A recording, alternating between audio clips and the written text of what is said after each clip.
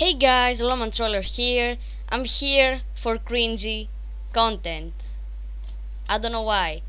As you can see behind me, I have two command blocks. Have you ever wondered how to make an overpowered bow? Well, today you're gonna learn how. Wait, okay. Okay. Look at what this bow does.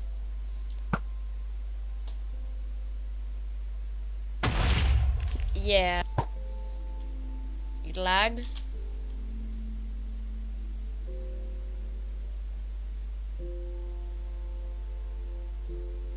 Yeah, it's a little bit laggy, but as you can see the grass is breaking. Um, about in... Okay, okay, here you go. Can you see what damage it did? So, I'm gonna tell you how to make it. First things off, you'll take this command block right here. It's a chain command block, only in creative. Command, command block, boom. Take this, put it, write this command on screen. You can pause and copy paste it or whatever. Then go to this and go always active, change it to chain oh and don't uh, remember to hit done when you're done. Then grab this thing which is slash give t um, repeating command block. And you'll get this. Now you can copy paste this entire command will be uh, in the description because I can't fit this entire thing on screen. It'll be here can see?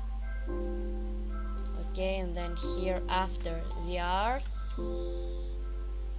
it's about uh, yeah run summon Minecraft creeper these things and then you can beef up the explosive radius from 1 to 100 um, I want a hundred for the best result and then you can you don't need this fuse zero seconds but it's uh, it will make it quicker.